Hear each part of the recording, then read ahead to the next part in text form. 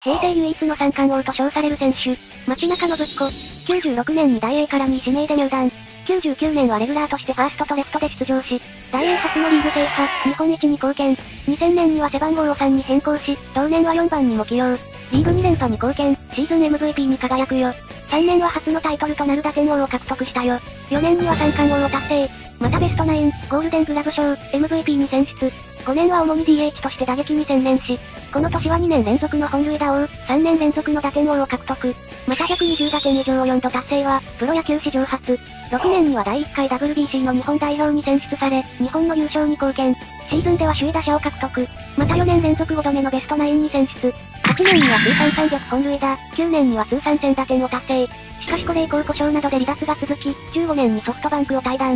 現役続行を目指した球団からのオファーを待つも、16年に現役引退を表明。ご視聴ありがとうございました。